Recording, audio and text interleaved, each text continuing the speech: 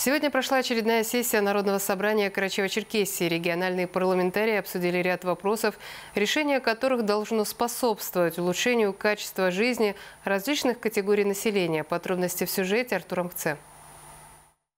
Участник специальной военной операции имеет право первоочередного личного приема руководителями и иными должностными лицами органов публичной власти Карачаево-Черкесии – Такое предложение ранее было вынесено на обсуждение депутатам парламента республики, которым на очередной сессии предстояло утвердить его. В нашем регионе уже принят ряд таких законодательных актов, которые а, предполагают и финансовую, и нефинансовую помощь вот, участникам СВО.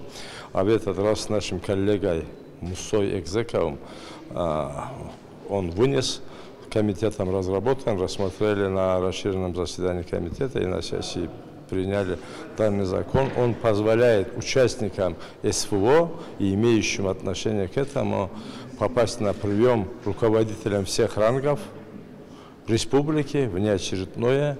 То есть это поможет им избежать вот лишних проволочек. Депутаты также утвердили кандидатуру мирового судьи в Адыгихабском районе, одобрили ряд поправок в региональные законы, установили новые выплаты за звания и награды на уровне Карачаева-Черкесии – заслушали проект концессионного соглашения, по которому возможно дальнейшее развитие инфраструктуры новых микрорайонов республиканской столицы.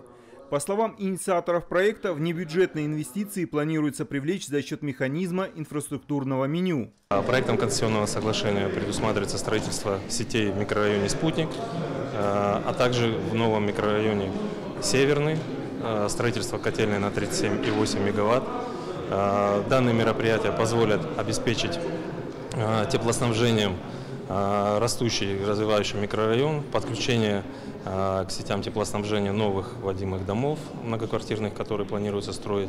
В рамках заседания были обсуждены и утверждены ряд других проектов, положительное решение по которым должно способствовать улучшению качества жизни различных категорий населения республики. Артур Мхсамиха Каракелян, Вести, Карачаево-Черкесия.